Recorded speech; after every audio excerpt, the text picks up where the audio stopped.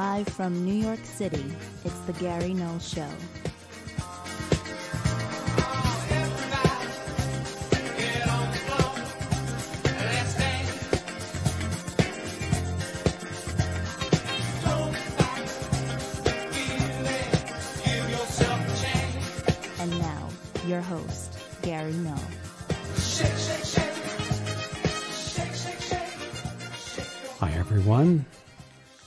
I'm Gary Null.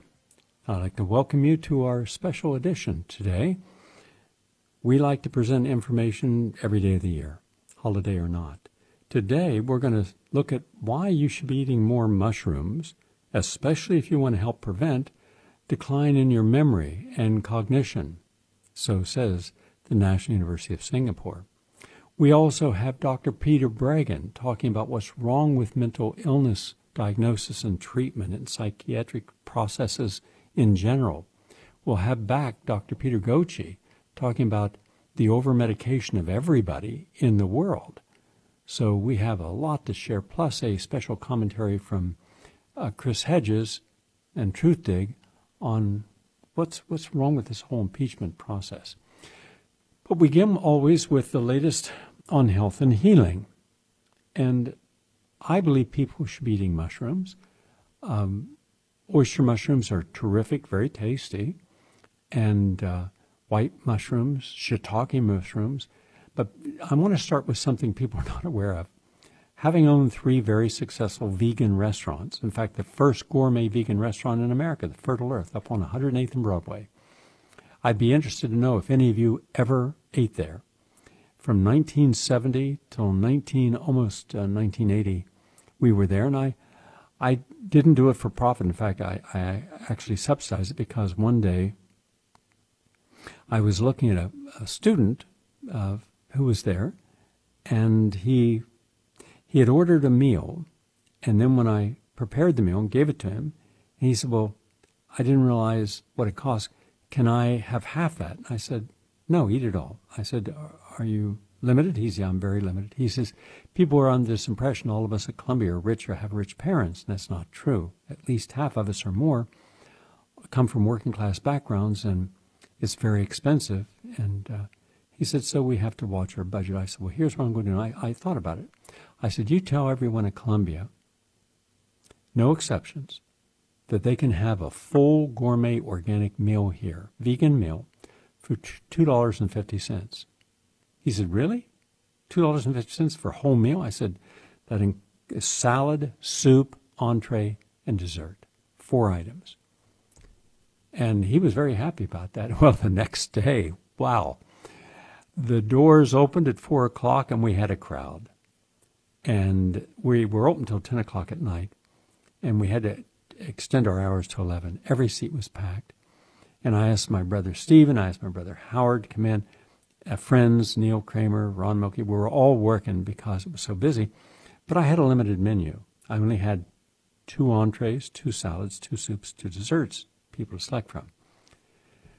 And it was it was rough. Fortunately, I had a good landlord, and he didn't charge me much rent, so we all donated our time and uh, but a lot of people had good food. And one of the items that we ate a lot of there because I grew them upstate. I had the Fertile Earth Farm, which was the first organic teaching farm in New York State's history. There was only two organic teaching farms. Rodale down in Emmaus, Pennsylvania, huge complex, very well done. I had a lot of respect for Robert Rodale. He's the one who did it. And mine, which was smaller, much smaller, it was 50 acres upstate in Stone Ridge, but about 15,000 of the listeners of my radio audience attended weekend workshops about everything about soil, growing, organic, um, and humane animal husbandry, meaning you don't kill the animal. You love it and you find it a home for life. So I had the first animal sanctuary up there. And so we'd raise the food, grow, grow the sprouts, make the Essene breads, the French brick, brick ovens, uh, we would do everything up there and then bring it down early in the morning. Every day, seven days a week. So people didn't get fresher food than that. And uh, but mushrooms also are easy to grow, and we would grow a lot of mushrooms. Now, the proper way of dealing with mushrooms is that you put them in and you put a um, a non toxic natural cleanser in there. There's one called Veggie Wash, which is very good. Or you can make your own with some hydrogen peroxide. And the key is that you're getting rid of any bacterial, viral, parasitic debris that's on the mushroom. And then what you do, the key is this you rinse them and then you press them with your hands until they're absolutely flat. Now, ideally at that point, you dehydrate them. You can put them in an oven at low temperature and they dehydrate down and they dry out. Now you have something that's very easy to work with, and in the kitchen, that's what you need. You take the stems off because they're too pithy, uh, they're just pure fiber, and you then use your different, like Miriam sauce and and uh, gluten-free tahini and different seasonings, and then you saute them quickly, generally about three minutes, and they're they rehydrate. They're delicious, and you can dice them and put them into a miso soup. You can put them into brown rice. You can bake a potato and stuff them in there with some sauteed garlic, onions.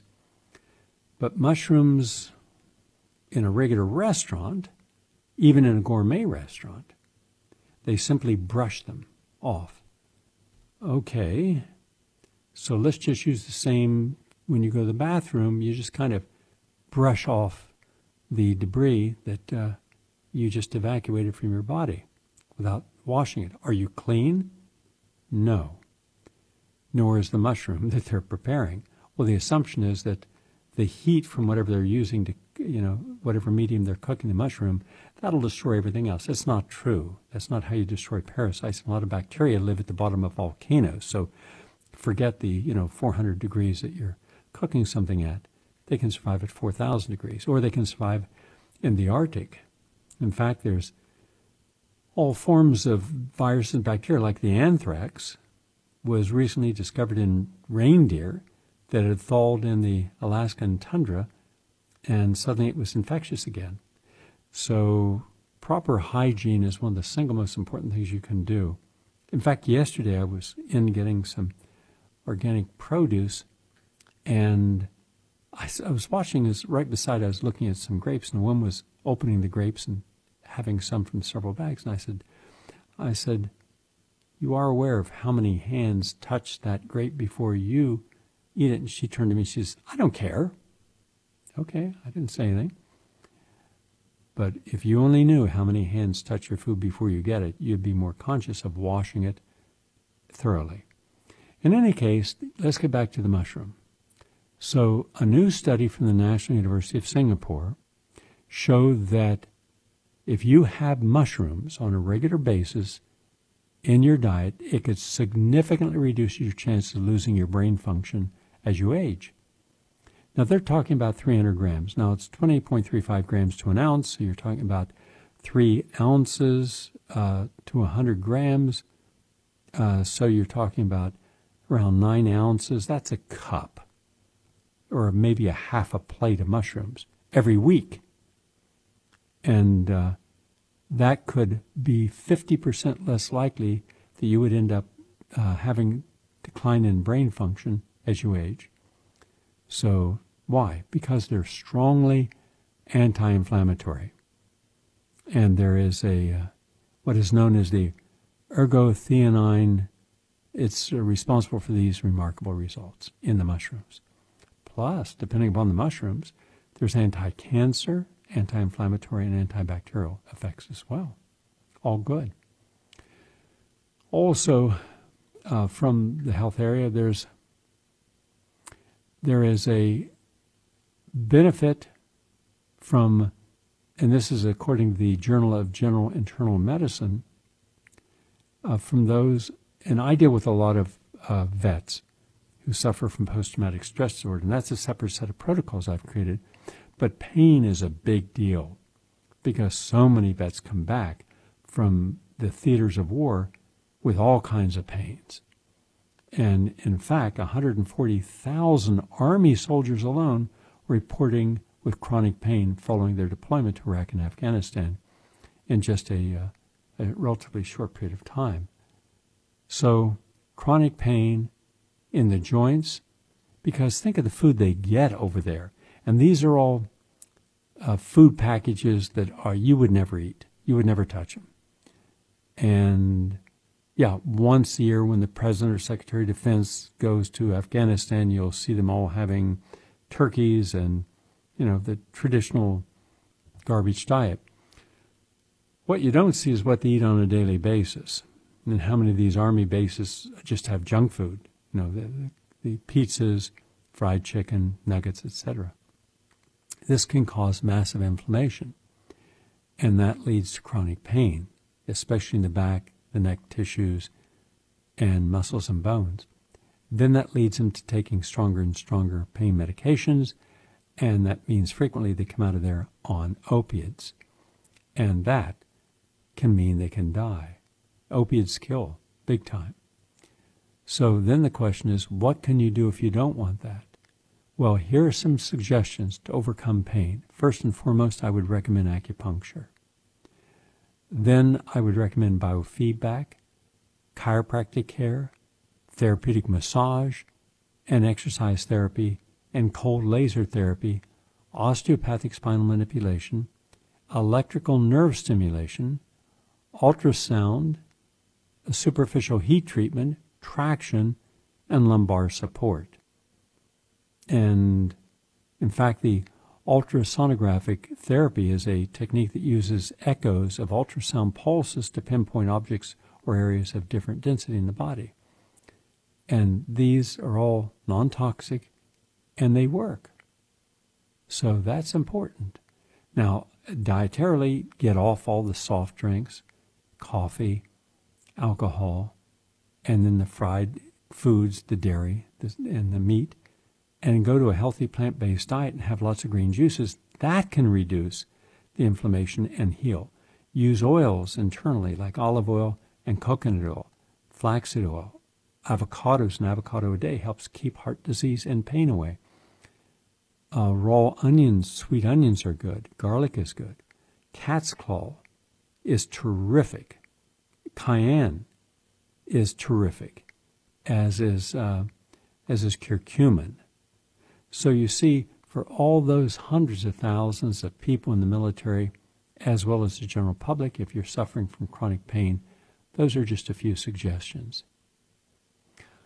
Also, um, we now have a new study from Reported Natural Place about how reading books compared to reading from screens.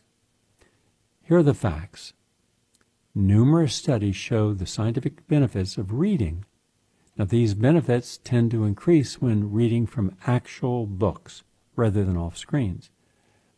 And the question then is do screens consume the majority of your time? When was the last time you read a book? Reading is akin to exercising for your brain. So, what is the takeaway message here? In the age of information, we're being bombarded left, right, and center with quick facts, fake news, censored information, biased information, propagandizing information, video images, and much more. There is greatly affecting our attention span, all of this, and to many, the idea of picking up a book when we could just be listening to something or reading short segments off our cell phone then the idea of reading a book is completely absurd. However, there are many benefits that come along with reading books that just might make it worthwhile to you. Consider just the very act of reading a book in itself, holding it, turning the pages, seeing your progress in the development of the story. It's almost as if you are a part of the book.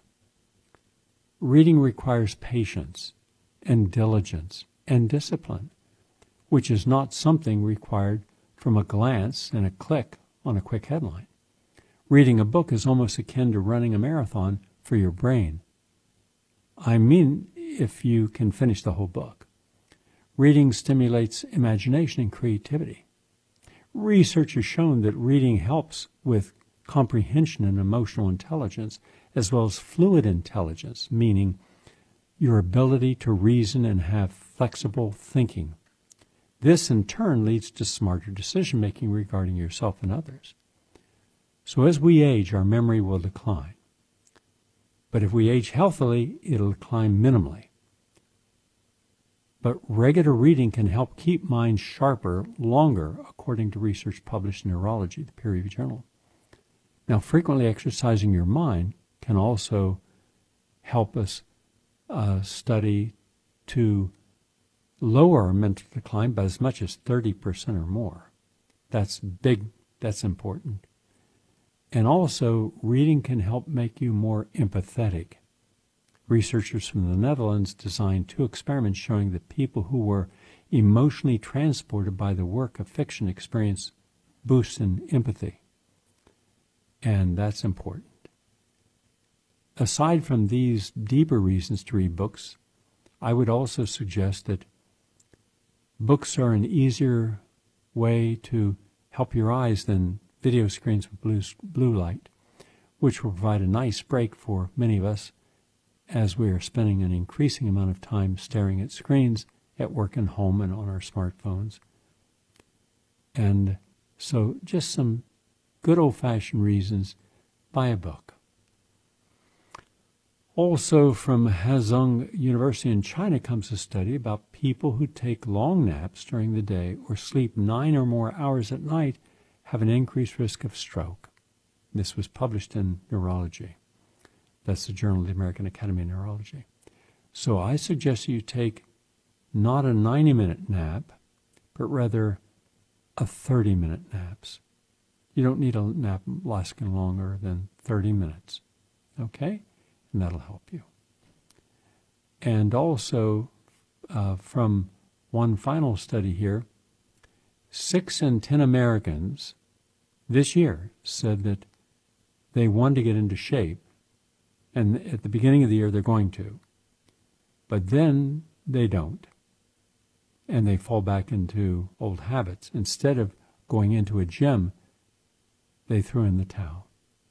So people are giving up on exercising at a young age.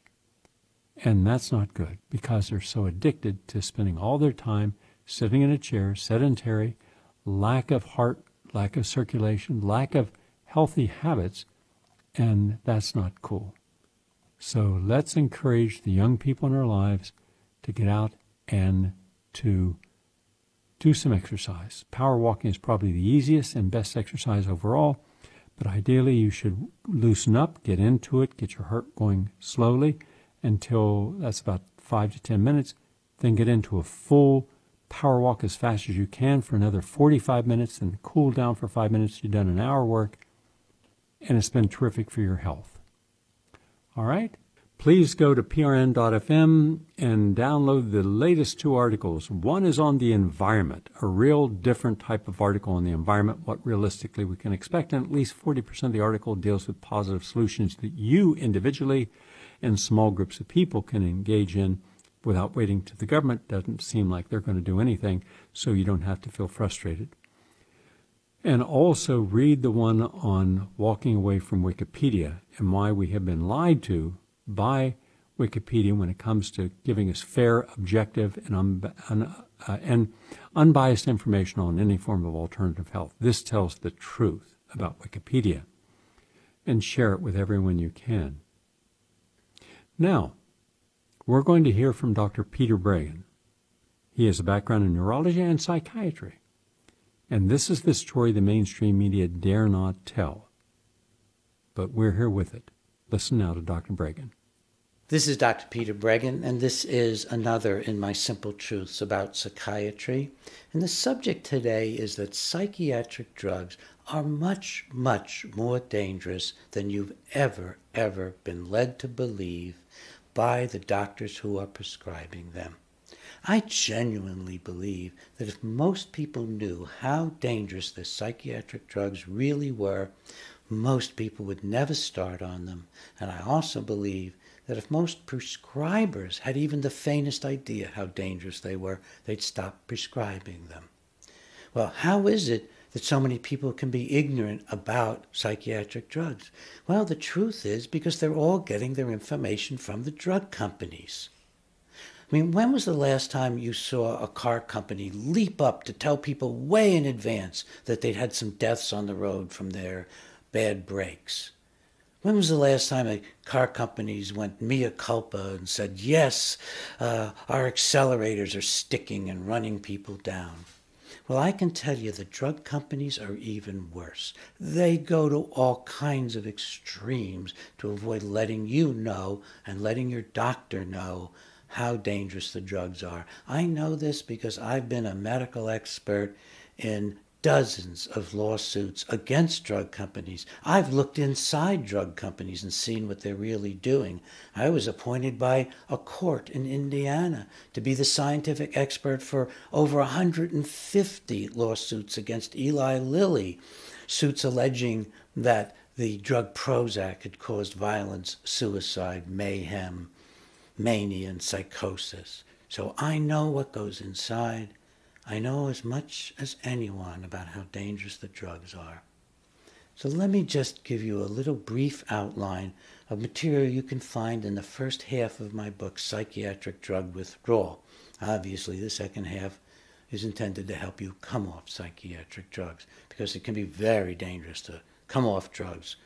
It's dangerous and sometimes more than starting the drugs. Let's take a look at the stimulants that you may be taking as a college student or as a parent that you may be giving to your children.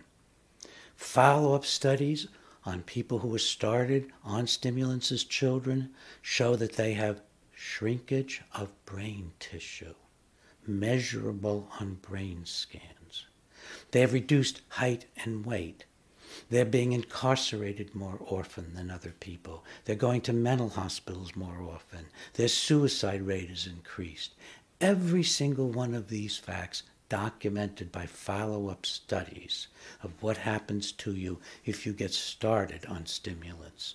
And one particularly well-done study, the rate of cocaine abuse is greater when you become a young man or woman if you've been put on stimulants as a child. That's because the stimulant drugs, such as uh, Ritalin and Concerta and Adderall and Dexedrine, uh, they're so similar to cocaine in their effects. All right, let's look at another group, the sedative sleeping pills that you're taking, like Sonata and Ambien, any one of the prescription sedatives used for sleep. We now got two or more good studies showing they shorten lifespan. You can Google them. You can Google practically anything I'm telling you, but you'll get more accurate and direct data from psychiatric drug withdrawal. Now, what about the benzodiazepines, the tranquilizers like Xanax and Valium and Ativan and Klonopin? They're very addictive. You know, that people taking Xanax in controlled clinical trials, after a mere six weeks, a large percentage can't get off. After a mere six weeks, they become addicts to Xanax. Great for the drug business, great for your psychiatrist or prescriber who just wants to write prescriptions. Terrible for you. These drugs now, several studies show, like Xanax and Ativan, they're causing shrinkage of the brain too coming off them can be an absolute horror story. It can be harder to get off those drugs than to get off opiates. They leave people who try to come off of them with horrendous insomnia, horrendous anxiety, aches and pains in their body, such pain in their feet that they can't stand up, that it's just too much pain, weird feelings throughout their body, and then the realization as they come off that their minds aren't working as well, that they have memory loss for the past and have more trouble learning. Now, I know this is hard. You know, it's hard for me to even talk about it, but it's really time to face up to just how dangerous these drugs are. So we've looked at the stimulants and the sleeping pills and the benzos. Now the antipsychotic drugs, which are not really antipsychotic drugs, they're just lobotomizing drugs that are being given to some people for sleep, like Seroquel is being given to people for sleep, and and Abilify and Latuda and uh, um, Risperdal Zyprexa, all of these drugs, all of these drugs are very damaging to the brain. They they virtually wreck a part of the brain called the basal ganglia. They cause a dreadful disorder, tardive dyskinesia. I've done a whole simple truth video about tardive dyskinesia. They're shortening the lifespan. We have evidence that people who are put on a lifetime dose of these antipsychotic drugs for whatever reason, whether it's to help you sleep at night or because that you're hallucinating and have a lot of problems, 20 years shortened lifespan.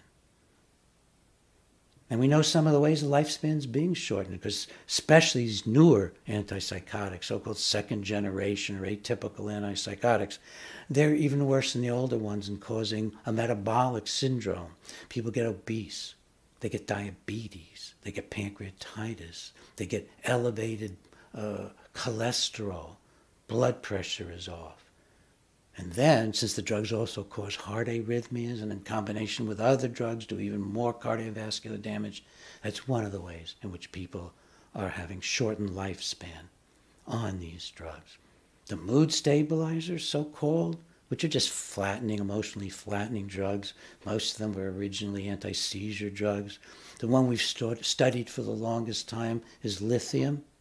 If you stay on lithium for a lifetime, like your doctor tells you to, you're at grave risk of severe mental problems in the form of memory difficulties, learning new materials, conducting your affairs like you have your whole life.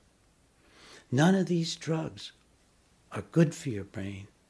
All of these drugs are bad for your brain, and it shouldn't be any surprise. These drugs are producing multiple biochemical imbalances in brains that don't have any biochemical imbalance until a physician or prescriber puts you on the drug.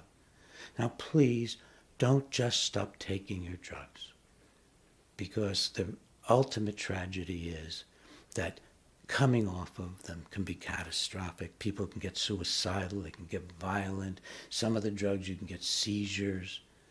Some of the drugs can drop your blood pressure if you're coming off. So, you know, get good information. I put everything I know about it in psychiatric drug withdrawal. Get good information, get some good clinical supervision, work with your family or friends. The shorter time you're on psychiatric drugs, almost certainly means that you'll have a better quality of life. We're just going to go from Dr. Peter Breggin that you just heard right into Dr. Peter Gøtzsche. If you remember, yesterday I played a short segment, but now I'm coupling what Dr. Breggin had to say with Dr. Gøtzsche's uh, insights on mental health and how it's been misdiagnosed and mistreated, over pathologized, and over drugged. And this will take us up to the end of the program. The scientific one is Does force do more good than harm? I believe clearly no. And antipsychotics cause vastly more harm than good. Ethics is force ethically acceptable? No. Antipsychotics kill a lot of people and cripple many more. Legal issues, international declarations are being ignored. I'll come back to that. So we must change our laws because they are unjust. Now, first of all, do these drugs work? They are not specific as the name implies. Anti is a misnomer. Antimicrobial agents can cure us from infections. Antipsychotics don't cure anybody. It's, it's a misnomer. And the placebo controlled trials are highly flawed because they are not adequately blinded. These drugs have many side effects, so most doctors and patients will know whether they get active or placebo, and then the effects will be exaggerated. And then there is the cold turkey phenomenon in the placebo group that in virtually all trials, you take people who are already in treatment, and then you have a short washout period of typically up to a week. And then you randomize to placebo or another antipsychotic drug. That means that you create abstinence symptoms in the placebo group in quite some patients. So you introduce harm in the placebo group. And then you conclude that my new drug is better than if I harm the control group patients. That's not good science. It's appallingly poor science. But that's how virtually all psychiatric drug trials are being done. Despite these heavy flaws, the effect of antipsychotics in recent submissions to the FDA is actually so small that it's doubtful it's clinically relevant. It's only six points on the positive and negative syndrome scale for schizophrenia, and psychiatrists have established that the minimally clinically relevant change, which means what you can barely perceive that now there is a change to the better, for the better or the worse, that's 15 points. So the Food and Drug Administration have approved olanzapine, risperidone, and drugs like that, despite the fact that the effect they have in deeply flawed trials, so this is exaggerated, is below what you can barely perceive as a change. So that tells a lot about these drugs. And then the schizophrenia diagnosis can be wrong in over 50% of the cases. So you, you, should, you subject people to forced treatment with very toxic drugs, and they don't even have an indication for treatment because it's wrong. That's another sign that we are not doing well here. The cold turkey design is clearly lethal. One in every 145 patients who entered the trials for risperidone, olanzapine, quetiapine, and sertindole, they died. And these deaths are unknown to the public.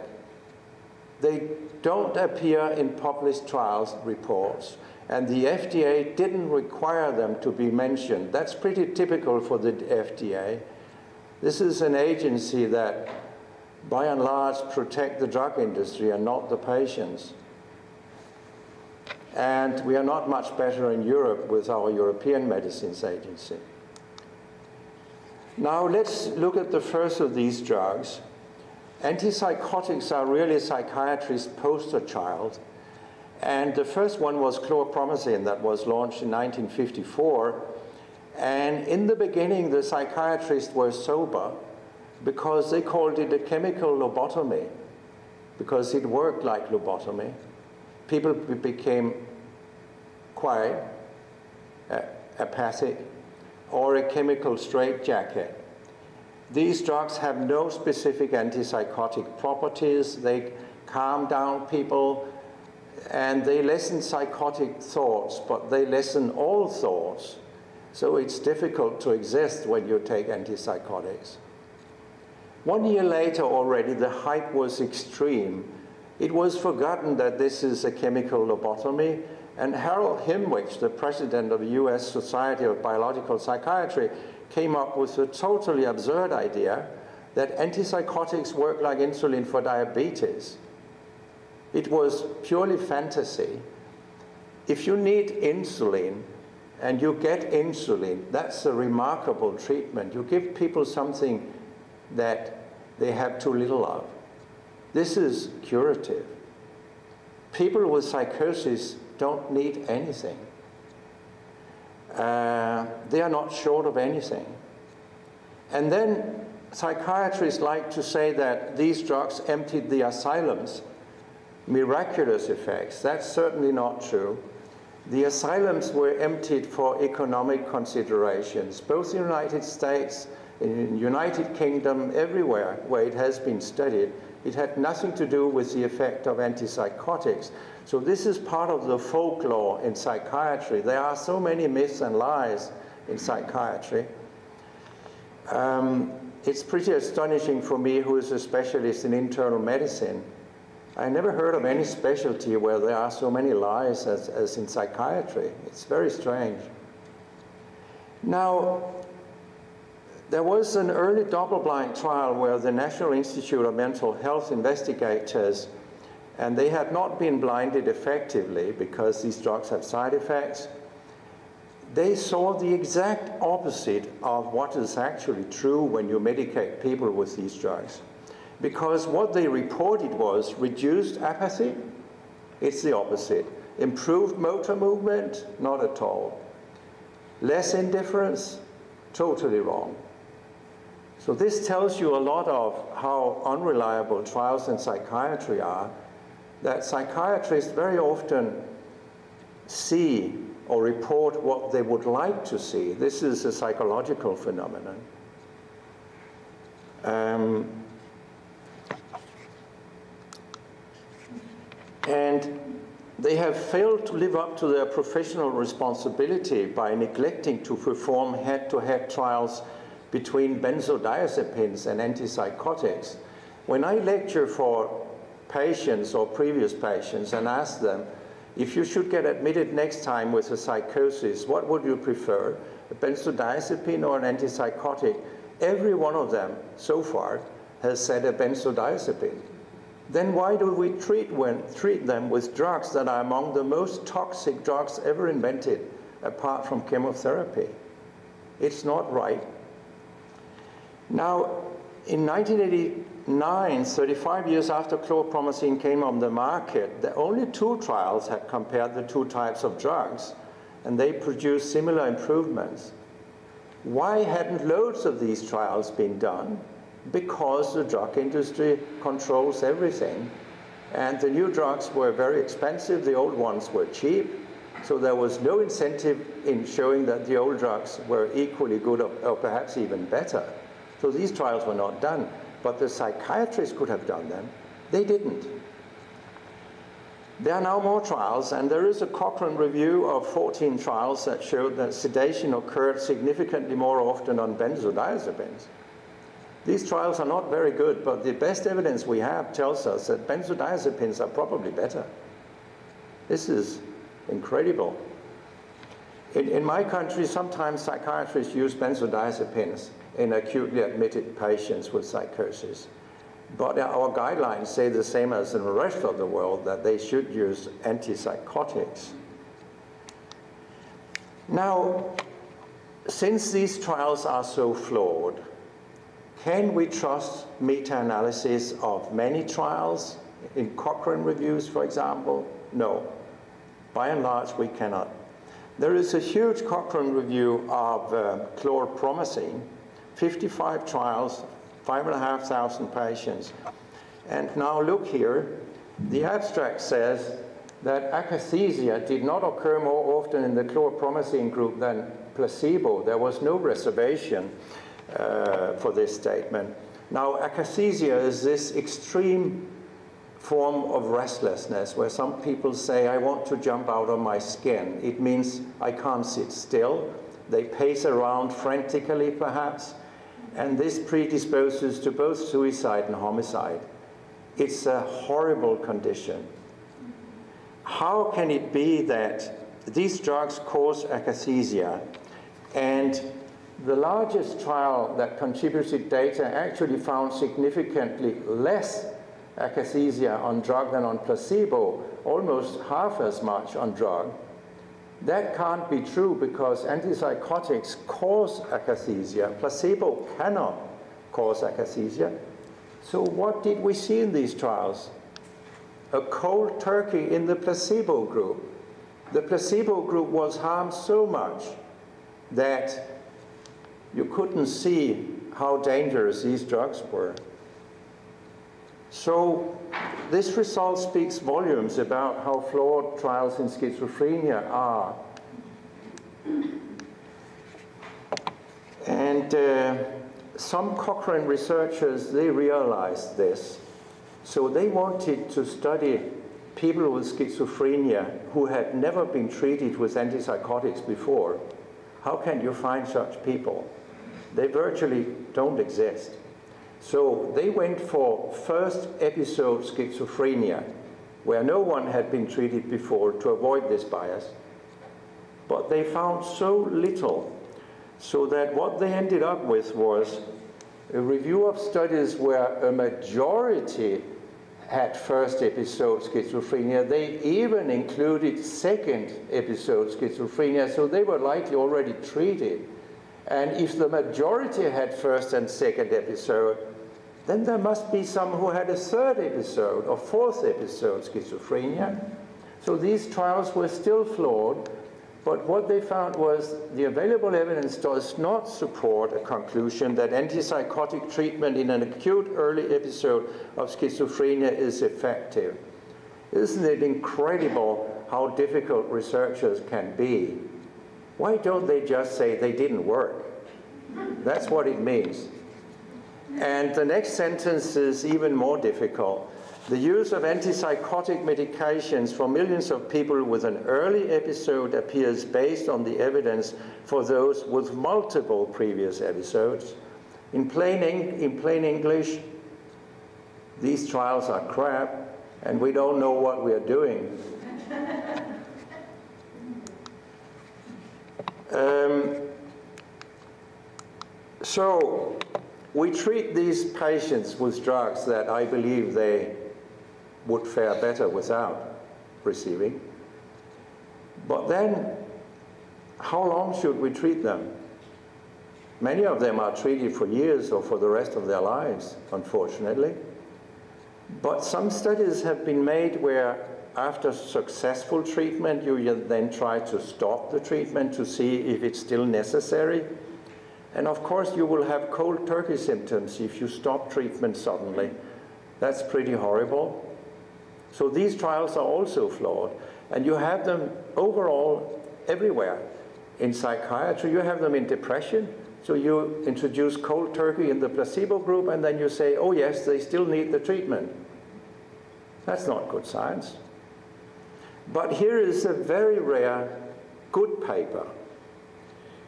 Here, the researchers, after they, after they had remitted, then the researchers randomized the patients to either reduce the dose or discontinue it completely or just to continue with the dose maintenance for two years. And after two years, the doctor could decide the treatment. So, what happened after two years? Well, more had relapsed when they lowered the dose or stopped the dose than if they continued. But the recovery was the main outcome. Who got well? Well, after seven years, more people had recovered when they had their dose reduced or stopped, 40% versus 18%. And the dose in the last two years was 64% higher in the maintenance group and stopped drug completely at seven years. 11 had stopped during this period of time in uh, the, the uh, dose reduction group versus six. So they got less drug and they fared clearly better. We have other evidence that supports this, that the less you use of antipsychotics, the more likely it is that your patient comes back to life and get a work and get on with life. So these antipsychotics, they create chronic patients. That's what they do. And how do we find out if they kill people?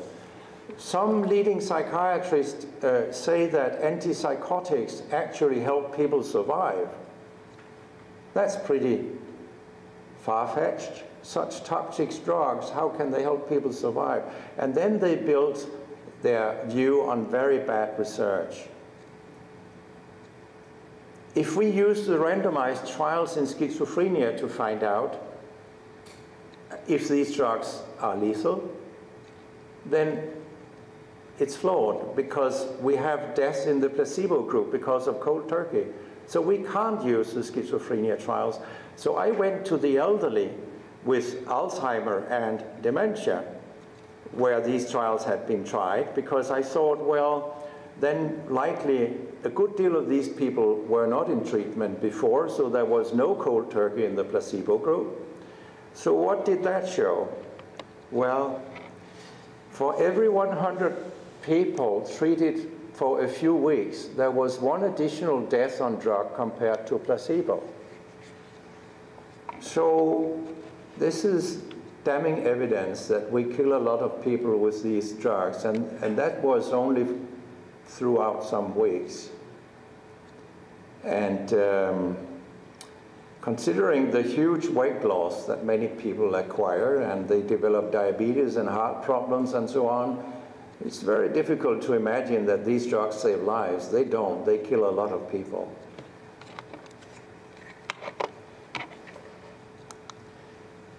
And they do a lot else. They cripple people. They lead to irreversible brain damage that can start pretty quickly and in a dose related fashion. The longer and the higher doses, the worse.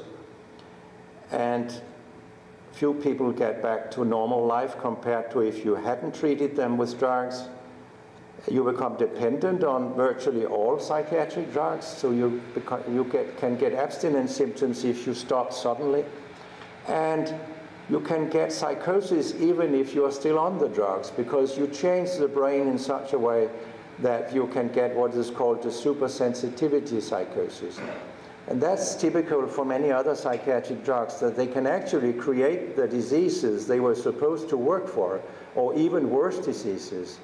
So they are really double-edged swords that doc doctors have extreme difficulty handling. They, actually, they can't.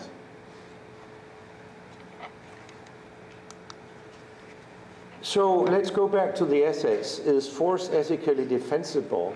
No. A few hours or days of disturbed behavior are treated as a cause for a lifetime sentence to a drug treatment. And psychiatrists in training will hardly ever see a patient who is not already snowed under with drugs and therefore get a wrong impression both of the patient and his strengths and the potential for cure without drugs. So typically when patients uh, have strange movements and ticks and, and you, you know, uh, salivates and so on, these are drug effects. But many people believe this belongs to schizophrenia. That's a disease effect. It's not. Some psychiatrists feel they cannot live without forced treatment. Most of them feel that, but they should think about that the patients cannot live with it. They actually die from it. That's far worse. And only soldiers at war and psychiatric patients are forced to run risk against their will that might kill or cripple them. But soldiers have chosen to become soldiers. Psychiatric patients have not chosen to become psychiatric patients. So this is deeply unethical. And as we all know, power corrupts. And the power imbalance in psychiatry is extreme. So there is a high risk that forced treatment is being used to benefit the staff rather than patients in order to make their work less stressful. We know that this happens a lot. I have estimated antipsychotics have killed hundreds of thousands of people and have crippled tens of millions. It's really gigantic. Some patients who were killed have begged what they call their torturers not to get the drugs, and very few have been investigated for slow metabolism, which can increase the risk of death quite many people have different metabolism from average, slow, in, in, intermediate, or fast. Here is a heartbreaking story of a Danish girl written by her mother. How psychiatry killed her daughter at age 32 after her 14 year career in psychiatry. She was a slow metabolizer. Her mother begged the psychiatrist to have a test done, which he refused. When Louise's best friend suddenly dropped dead on the floor at the hospital in Denmark, Louise said, I'll be next. She was killed six months later. At one point during all that, she asked her mother, Mother, do you think it's better in heaven? It is so cruel. And very few will believe in forced treatment after having read this book. You will have tears streaming down your chin if you read this book, so I can recommend this for you. Um, the diagnosis was wrong. She didn't have schizophrenia. She had Asperger. The psychiatrist didn't listen, not even to their own staff who knew Louisa much better than they did. And they declared that she was seriously ill and should have even more drugs when the staff said she's doing fine. They consistently blamed Louisa and her mother for everything. It was never the precious pills, and certainly not themselves, that were at fault. This is quite typical as well. And they increased the dose when it should have been decreased or stopped altogether. Louisa didn't tolerate the drugs, and she was aware that they would likely kill her. Post mortem, the system congratulated itself for its first class homicide.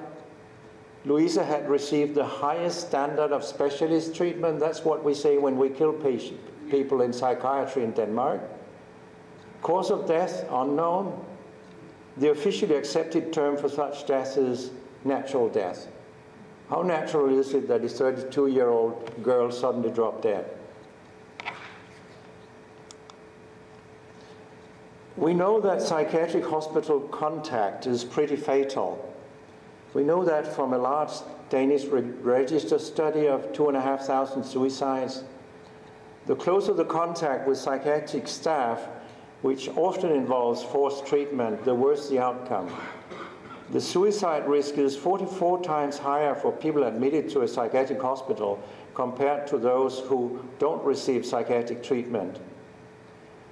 And, and then you will, of course, think, isn't that natural? those who are most ill get admitted to hospital and they kill themselves. That's not because of a bad environment at the hospital, but actually, most of the potential biases in this study favored the null hypothesis of there being no such relationship. So this study is pretty strong. And there was an editorial that said it's entirely plausible that the stigma and trauma inherent in psychiatric treatment, particularly if involuntary, might cause suicide. People in my country are still told, not always, but sometimes, schizophrenia is a chronic, lifelong disease and you need to be drugged lifelong. And then they leave hospital and have no hope. Is it strange that some people kill themselves at this point when they also suffer from horrible side effects? I don't think so. And schizophrenia is not a chronic progressing disease. People can get cured from schizophrenia. So now we come to Alaska because the Alaska Supreme Court has decided that the government cannot drug someone against their will without first proving by clear and convincing evidence that it is in the best interest of the patients and there is no less intrusive alternative available. I have told you about benzodiazepines. That's less intrusive. There is always less intrusive alternatives available. And, and Jim Gottstein, himself a previous patient, used scientific evidence to con convince the judges. In another case, the court decided that if the alternative is feasible, the state has either to provide it or let the person go. Jim has also uh, noted that psychiatrists with a full understanding of the trial judges regularly lie in court to obtain involuntary commitment and forced medication orders. I got that experience yesterday. The petitions I saw were full of lies. It was unbelievable. We can discuss that later. Now, the legal issues are, for example, the European Convention on Human Rights that, uh, that is about prohibition of torture. No one shall be subjected to torture or to inhuman or degrading treatment or punishment. And we have a committee for the prevention of torture that travels around and visits psychiatric institutions and write reports with criticism. And they say that patients are often restrained, usually mechanically, in belts as a sanction for perceived misbehavior or as a means to bring about a change in behavior. That's not allowed. And uh, where physical restraint is necessary, it should in principle be limited to manual control, that you fix the patient like this. Talking to the patient or calm him or her down is the preferred technique. And Peter Breggin from New York in particular has shown how effective this can. Well, that's our program for today. I want to thank all of you who took your time today. Hope you have a wonderful day. Look forward to seeing you back here tomorrow.